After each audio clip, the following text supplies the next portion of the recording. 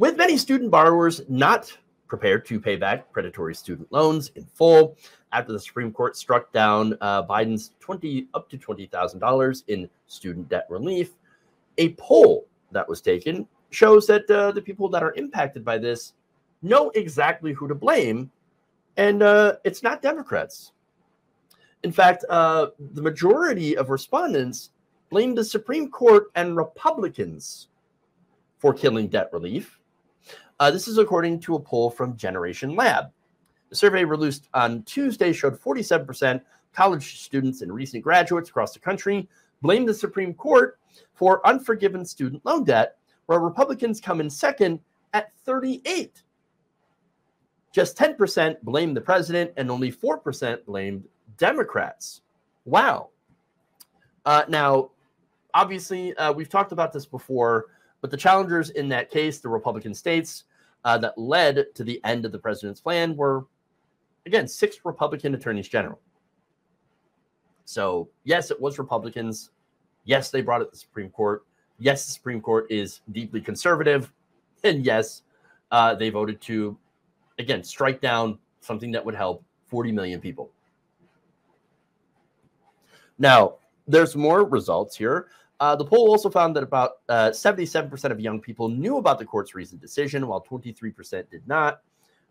Mainly, it's because they pay attention to news, uh, social media, etc. 61% of those surveyed did not agree with the Supreme Court's ruling. 17% did. 21% were not sure if they agreed or disagreed with the court's decision.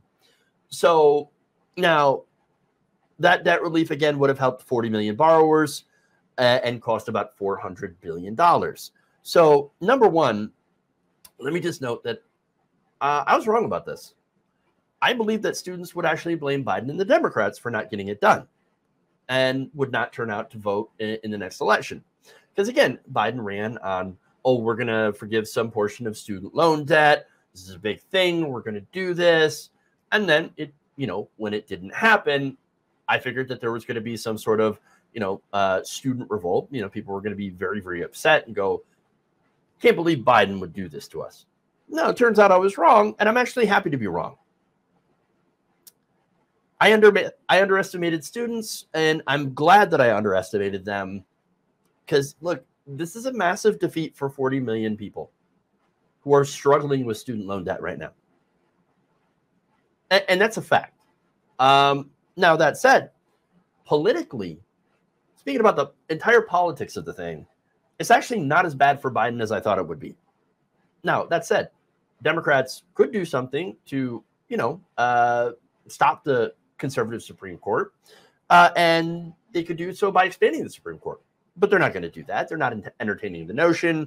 Most uh, establishment Democrats are not, at least, and that's pretty disastrous because that means that not just for the remainder of Biden's term, but for decades, for the next generation, nothing is going to happen. It, it, again, all conservatives have to do is just to challenge it in the lower courts, bump it up to the Supreme Court, and the Supreme Court, as they are activist judges, will just strike it down. It doesn't matter. They can do it on just false, uh, you know, uh, false assertions, lies, if you will, and made up hypotheticals, uh, just like they did, of course, with uh, the decision, the recent decision that allowed for discrimination against LGBTQ folks.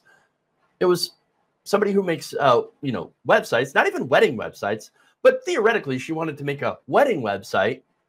Uh, but know, she didn't want to have to make them for gay couples, even though she's never made a wedding website ever and might still not even do so took it to the Supreme Court and won, allowing discrimination to now be legal in this country against LGBTQI plus folks. So that's what's going on here. Okay, that's what the Supreme Court's doing. Uh, this case, in this case,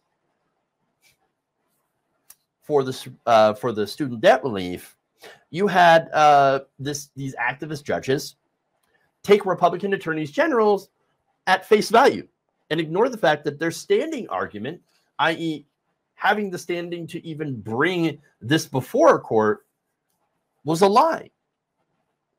Emails, internal emails containing company calculations revealed that after debt cancellation is enacted, this was uh, uh, Missouri. Uh, this is uh, one of the big plaintiffs in the case was Missouri's uh, MOHELA, uh, which is their you know student debt servicing um, arm of the government, would actually not lose revenue. One internal company document called the Forgiveness Impact Summary outlined what would happen if the loan forgiveness plan were enacted. Figures from August of 2022 showed that if $20,000 of student uh, loan debt for Pell Grant recipients and $10,000 for student loans for every other borrower were forgiven, MOHELA would still earn over $96 million in revenue from servicing direct loans, compared with 88.9 million in revenue in 2022, a 9% increase. So again, they were not impacted and therefore shouldn't even had any standing to sue. And this case should not have been taken up by the Supreme Court. It should have been thrown out. But instead, the activist judges in the Supreme Court decided to ignore it and claim that uh, and use it to claim the HEROES Act, which passed through Congress, it was an act of Congress, didn't allow the Secretary of Education to do loan forgiveness, which is preposterous because they're currently doing loan forgiveness. The department has been forgiving student loans left and right. Just recently, the administration forgave student loan debt for more than 800,000 borrowers. And this is just the latest one. But here's the thing the right wing did not want this uh, debt relief plan to go through because it would have been a political win for Biden. But instead of it being a win for him, since they denied him that win, they thought that it would be, uh, you know, a big loss when it comes to people voting. Turns out, no, it might actually be a bigger loss for Republicans. It might actually galvanize student turnout.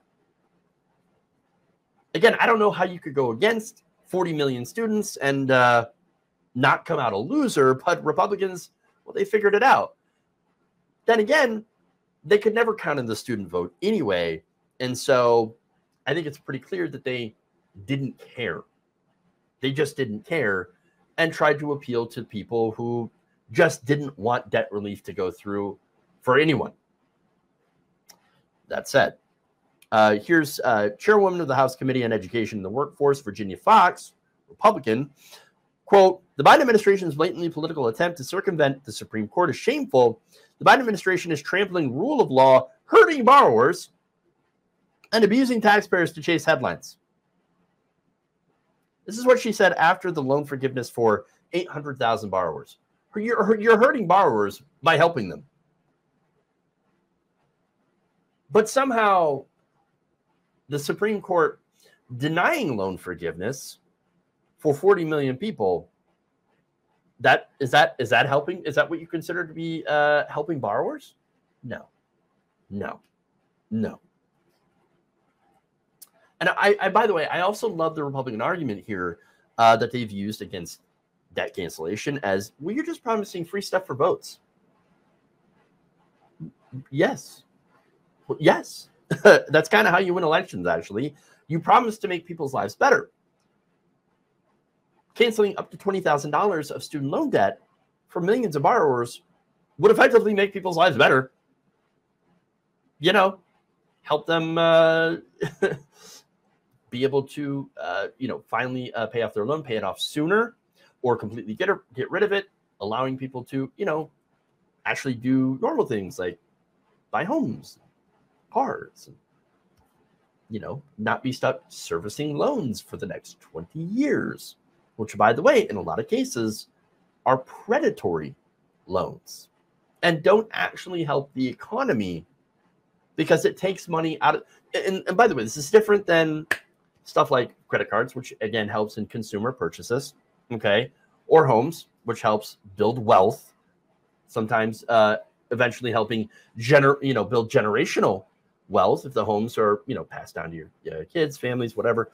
Um, all that stuff is uh, good for the economy, but student loans, well, they're not good for the economy. It's just taking money out of people's pockets for an education that in a lot of cases are required, but still actually doesn't pay enough to justify the cost of getting said education. And I'm not just talking about like uh, you know, the the, the oh, gender gender studies, which by the way, gender studies is based as fuck. So, I mean, a lot of the people that are complaining about gender studies should probably take gender studies. They would learn something.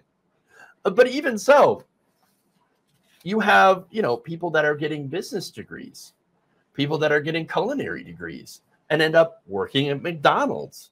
I mean, they've got a culinary degree, they can work at a high-end restaurant, and some of these people end up working at McDonald's for minimum wage and yet having to spend so much money on those degrees. So that's predatory and it's uh, an absolute travesty. That's why loans need to be forgiven. And by the way, I think we should do further. Uh, Biden's Biden's policy, while I think it's fine, you know, and I, and I think we should definitely do it. I I also don't think it's enough. I think it's nothing more than a band aid, really. Um, which wouldn't solve the real problem behind student loan debt.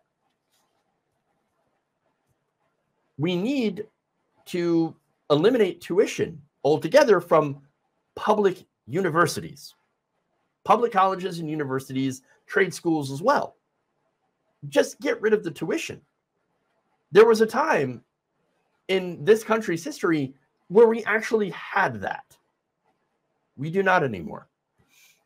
And not only do we need to get rid of tuition to prevent people from getting this debt in the first place, but also to cancel all of the debt completely from public colleges and universities.